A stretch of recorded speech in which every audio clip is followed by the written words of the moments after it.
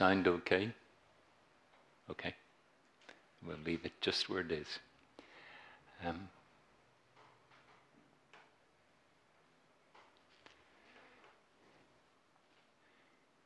during the last week, I went to visit someone who's close to death, who used to be a regular practitioner here at City Center. Uh, he never lived here, but he used to come very regularly. And now he has a hospital bed set up in his living room, and that's where he lives. And as we were chatting in a pause, he said uh, to me, said, trust the moment. And then he said, I said that to him 20 years ago. trust the moment. Um, how do we do that when the world is in such turmoil? How do we do that when even our own um, process of being alive has its own turmoil and drama? Um,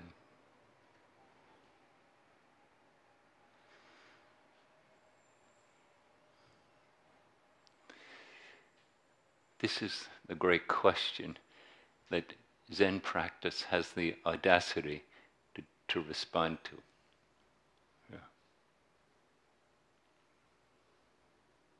It, it's not as if we think we will master what it is to be alive.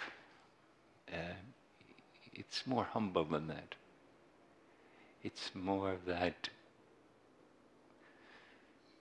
what else makes sense for a human life than to try to discover how to live it?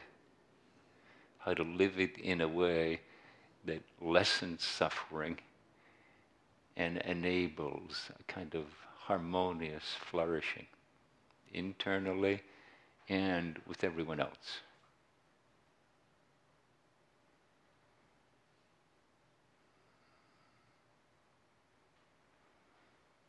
each day this week, I've pored through the news on the internet on the details of what's happening in between Israel and Palestine.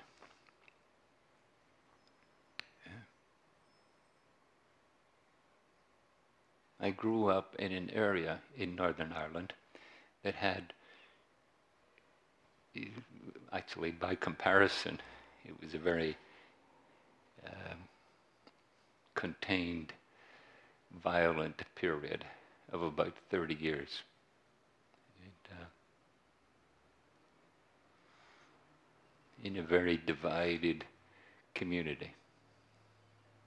There, there, a division of choice. Maybe it wasn't a choice. Maybe it was the force of circumstances the division was Catholic and Protestant.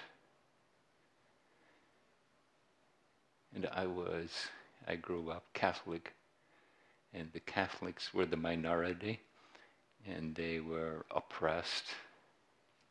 I think that's a fair thing to say. Maybe others would disagree, but I'm going to say they were oppressed. And after 30 years of violence, um, a peace treaty was signed. And 27 years later,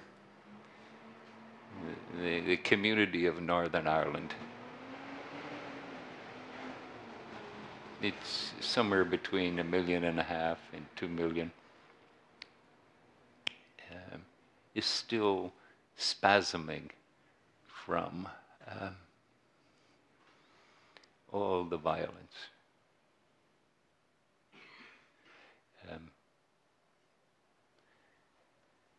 Trauma, domestic violence, substance abuse, lawlessness. Um,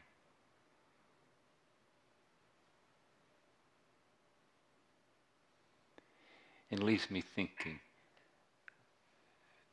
after this, hopefully, somewhere in the next 10 years, we will resolve um, what's happening in the Middle East. But something in me thinks, ah. And then when it's safe for people to feel what they're feeling, ah, how terrible that will be. Maybe we can hold it in an optimistic way as the process of healing. Um,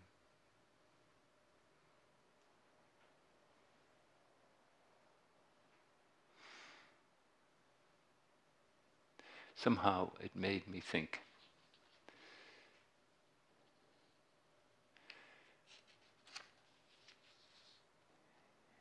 It made me have no judgments about I, I, what it occurs to me is the whole thing is an enormous tragedy. You know?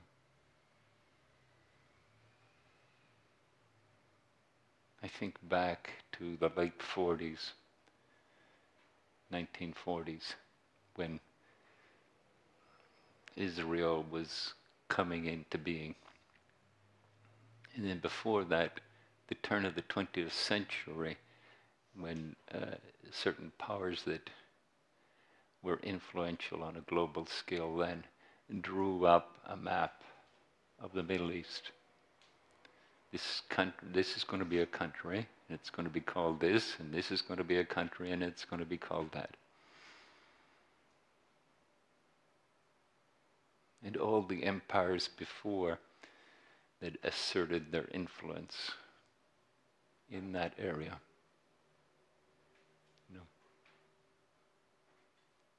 In our tradition, in part of our liturgy, we say, all my ancient complex karma. And the I is a singular, but it's also a unifying collective. All our ancient twisted karma, ancient, I prefer the word complex,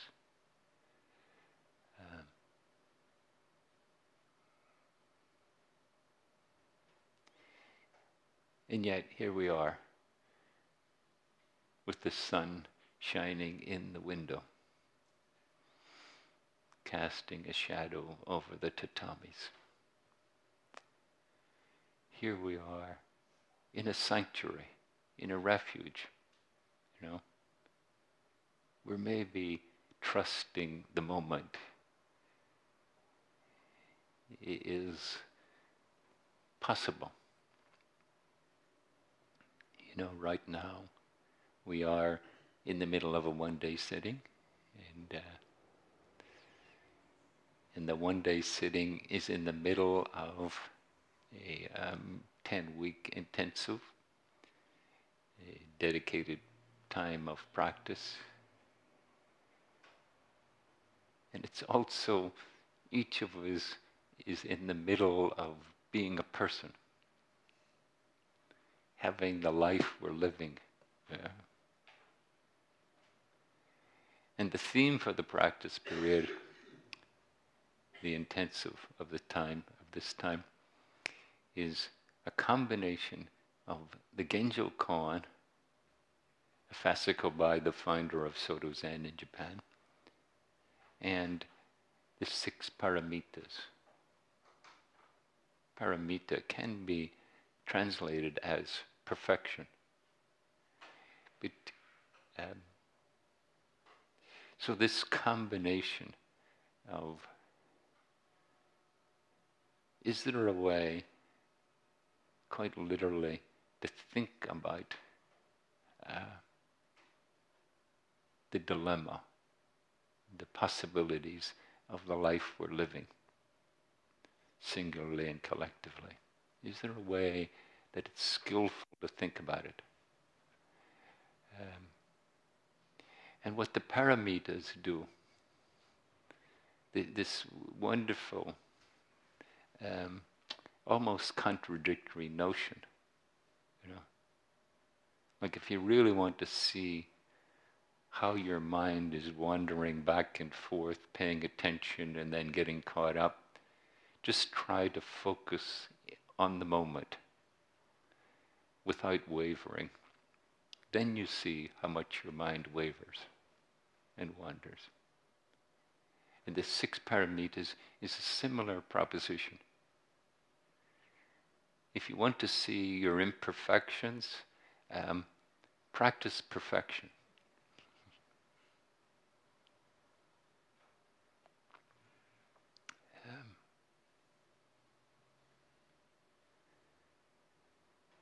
And the first three paramitas are generosity, ethics, or discipline, or virtue, some combination of the three.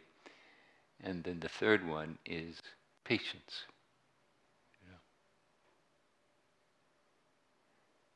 And together, I think of them as, as we engage them, they are loosening us up. They're loosening up our impatience. They're loosening up the fear of our scarcity, our lack of generosity. And they're loosening up the way in which um,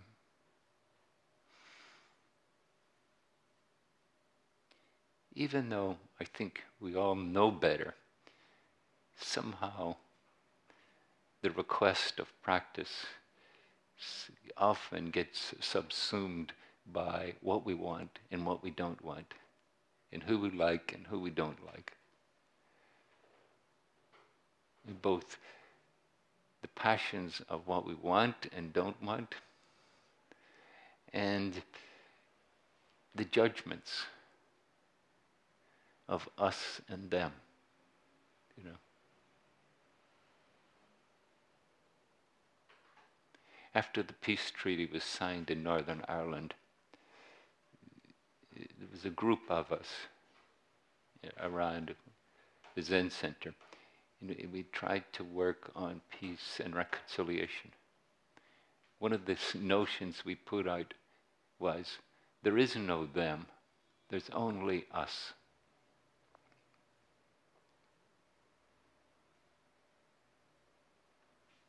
There's only us.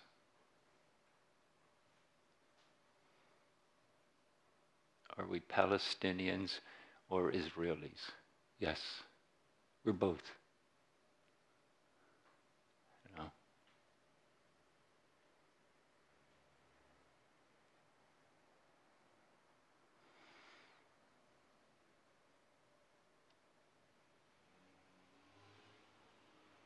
And we can watch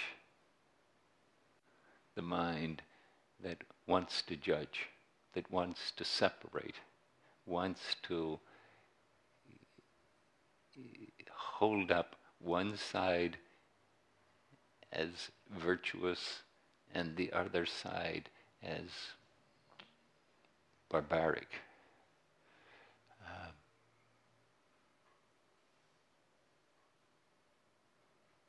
what if we think there's only us?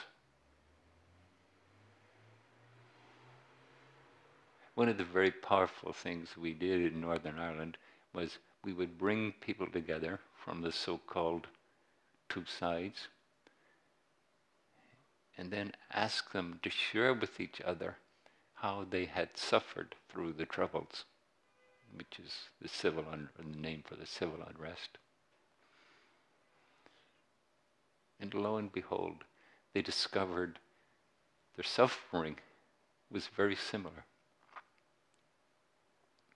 Relatives and friends had been killed. Um, the constant threat of violence and not knowing what was safe um, had worn down their resilience and their healthy consciousness and state of mind. In our suffering, there's just us, you know.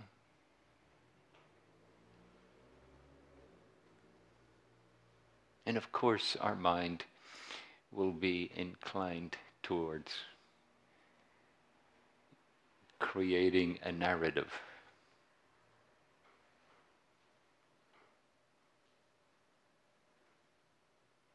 But I'd suggest you however and whatever your narrative is, there's a human tragedy. There's a sea of suffering.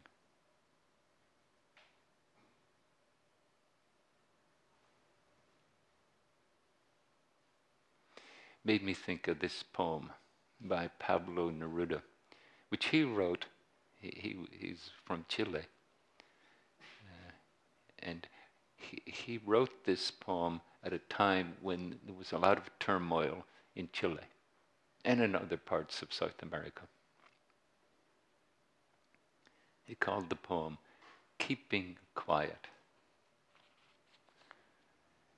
Now we will count to 12, and we will all keep still for once on the face of the earth. Let's not speak in any language. Let's stop for a second and not move our arms so much. It will be an exotic moment, without rush, without engines. We would all be together in a sudden strangeness. Fishermen in the cold sea would not harm the whales, and the man gathering salt would not look at his hurt hands. Those who prepare green wars, wars of gas, wars of fire, victories with no survivors, would put on clean clothes and walk about with their brothers in the shade, doing nothing. I don't want, what I want should not be confused with total inactivity. Life is what it's about. If we were not so single minded about keeping our lives moving and for once could do nothing, perhaps a huge silence might interrupt this sadness of never understanding ourselves and of threatening ourselves with death. Now, I'll count up to 12. You keep quiet, and I'll go.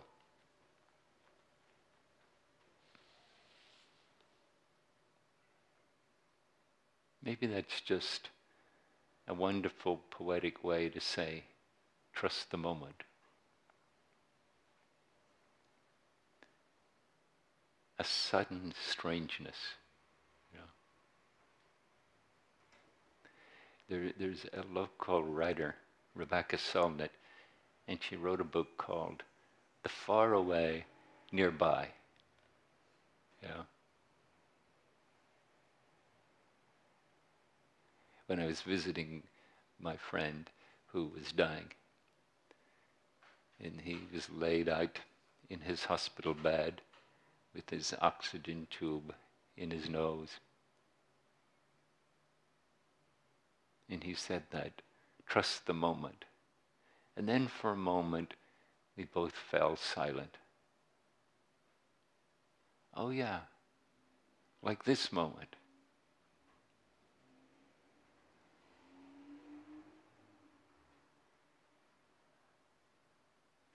That's what a one day sitting is. You know, moment after moment, can we trust the moment? can we reenact an ancient pathway that's always been the quest of humans? Can we reenact it in the context of uh, Soto Zen? as it's being morphed into uh, California Zen or something. Uh,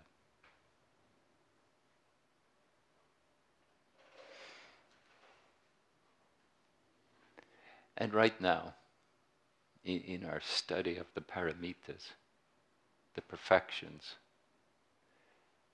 the imperfections, um, patience. Yeah.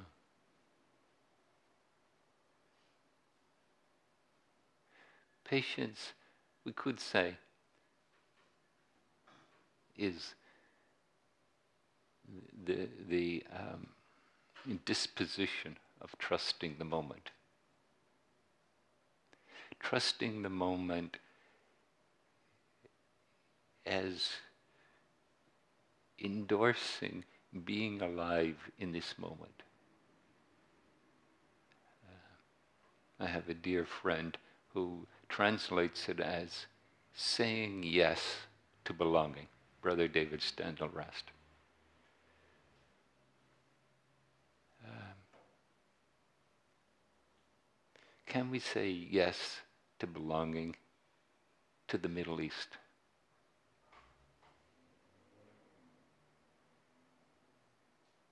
Or is something in you determined to divide it into good and bad?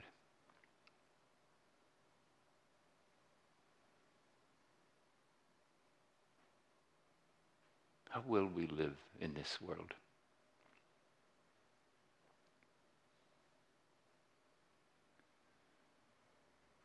Making a fuss about the Middle East as if it was the first time we'd ever done this. No, apparently the history of our planet is this is just what we're doing now, and we've done many, many times.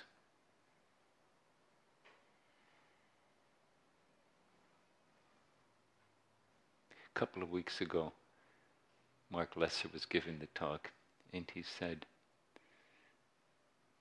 my therapist says to me all the time be the change you would like to have happen.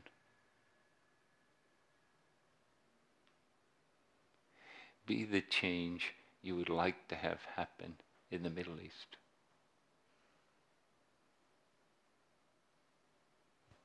Be the change you'd like to have happen in relationship to the paramita of perfection, of um, patience. Yeah. There is a way in which um, there's a kind of a, a, sequence that patience can um, take. The first challenge for us, it may be, it's the persistent challenge for us, um, is to lessen our no.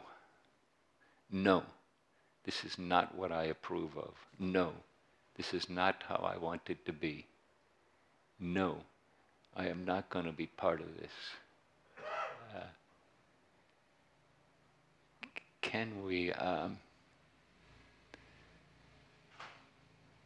can we trust the moment? Can we um, study our reactivity? You know, can we study the patterns of our thinking, our feeling, our psychological makeup, patterns of our behaviors, you know?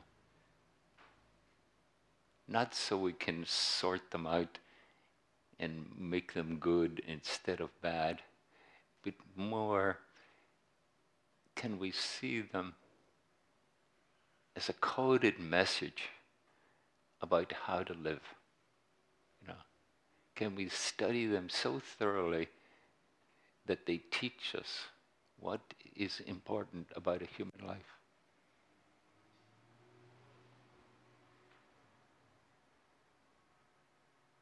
How do we do that? And in some ways, a one day sitting is simply saying, well, let's all agree that we will follow a schedule we've made for ourselves. We'll sit, we'll do seated meditation, we'll do walking meditation, then we will do our chanting services, then we'll have formal meals.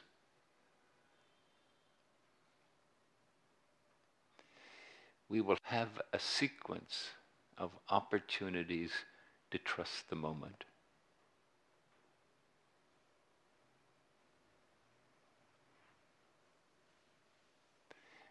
And in our notion of perfection, we will discover our imperfections. Can we be patient with them? When the mind wanders, and then somehow we come back to awareness, can we embrace it. The return to awareness. Can we let it sink in? Can we let, can we take it to heart? Can we let it soften the reactiveness of mind? Can we, can we let it soften the tightness in the body? Can we let it soften the way in which we want and we don't want?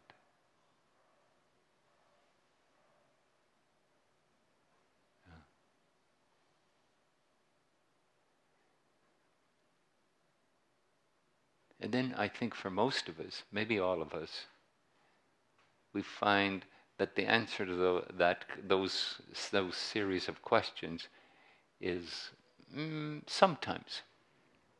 Sometimes I can do that. To some degree, I can do that.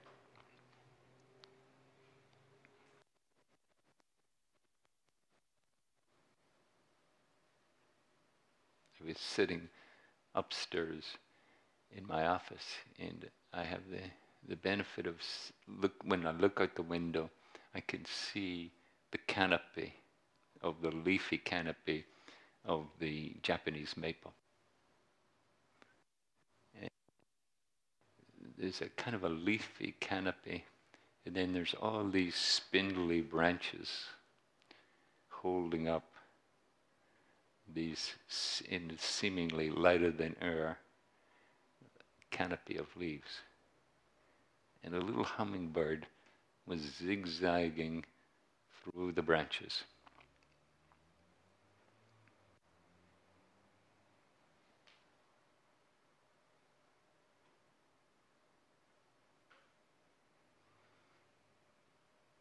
Supporting me to trust the moment. Just like the sunlight just like the signs we hear, just like the thoughts we're thinking, just like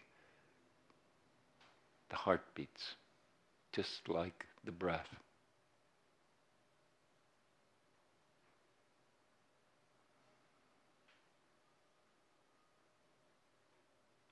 It's all just us.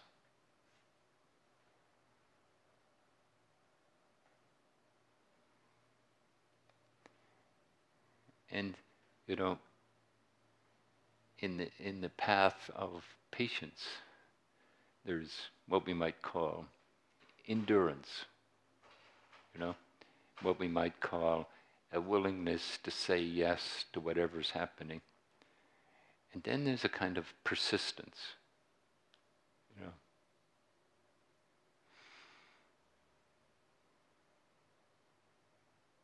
Can we patiently return to awareness.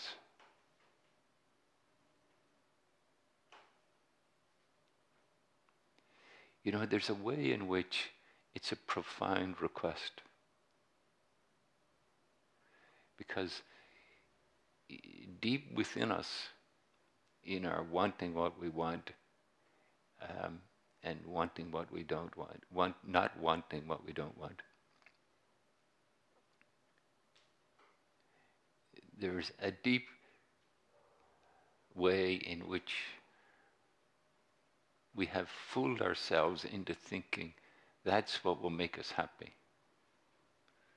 That's what will help create a, a flourishing of our life, of our relationships, of our world.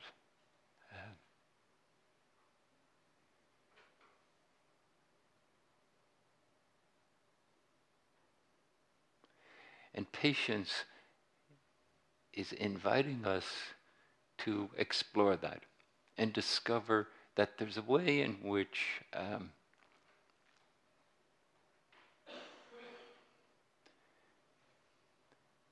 not insisting upon getting what we want um,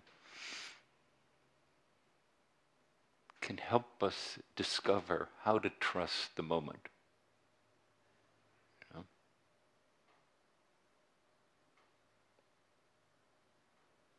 And patience can help us return when we defy that notion and get caught up in, in some version of the world according to me and all its complications. Patience can help us, okay, and now there's awareness, and now experience that awareness. See the hummingbird. Feel the emotion. Notice the breath.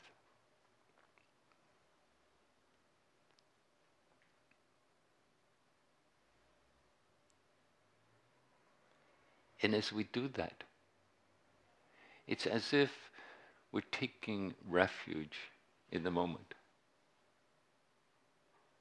As if we're coaching ourselves to try on the notion that getting what we want and avoiding what we don't want isn't really the answer to a human life, but more meeting it fully just as it is is more fruitful in terms of living a human life.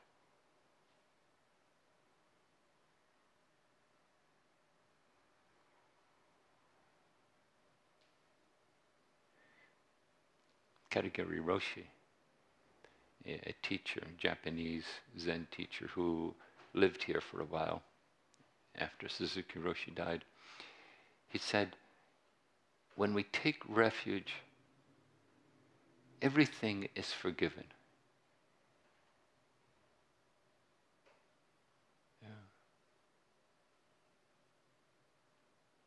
Now we can say to ourselves, well, that's a lovely notion.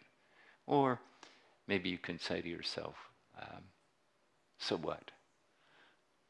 Uh, but when we live it, you know, when we're in a precious moment close to death,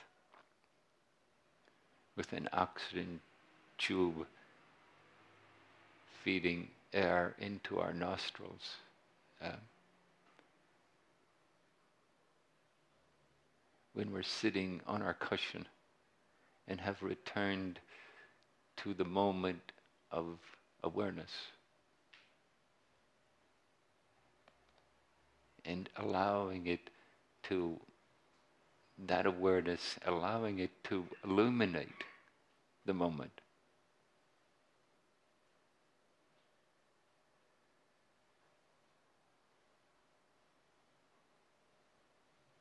something is learned. Something that goes beyond our words. There's, it, it's a subtle antidote for our reactiveness. It's a subtle antidote for our distractedness, our anxieties, our distresses. You know. As Pablo Neruda says, it would be an exotic moment, without rush, without engines. We would all be together in a sudden strangeness.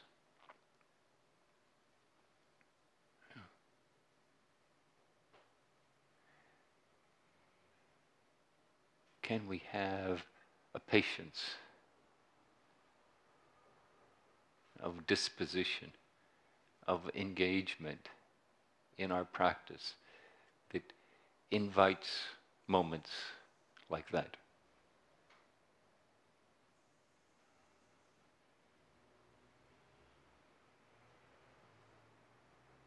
Can there be moments in this ferocious turbulent world that we're living in? Can there be moments that we can take refuge, that we can cherish, that we can nurture our being and the being of others?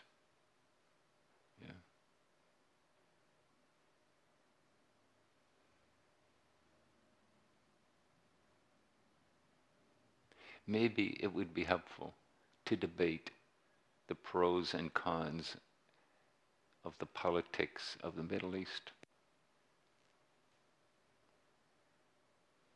Personally, I would say only if we can hold the whole gestalt of it with an extraordinary patience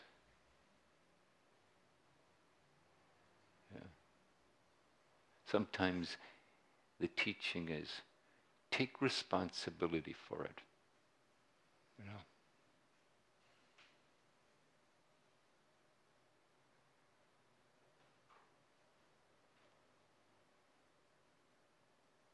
If it's only us, it's also I.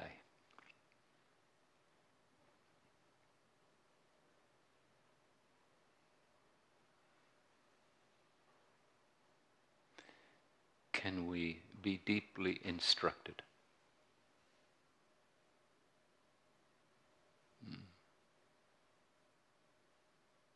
Can we learn the preciousness of patience and forgiveness? Can we let them be uh, powerful, transformational energies?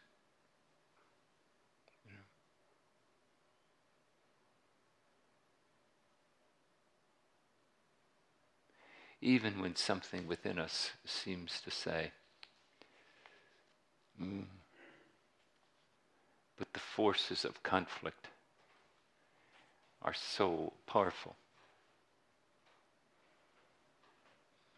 Sometimes we can say to ourselves, but it looks like our whole structure of nations, our whole global economy, our geopolitic is built around competition and the declar- the unsolvable declaration of us and them.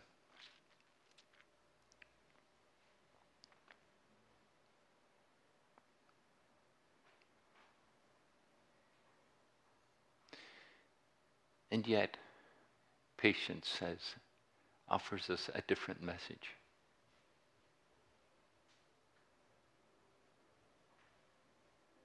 it offers us an invitation to not box ourselves into reactiveness. It offers us an invitation to see and hear and feel in a way that connects us.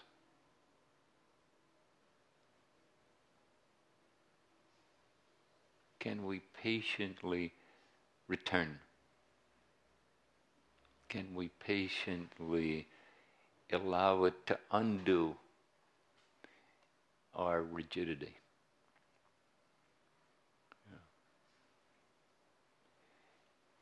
and somehow, almost magically, nurture the lotus that grows in the muddy water.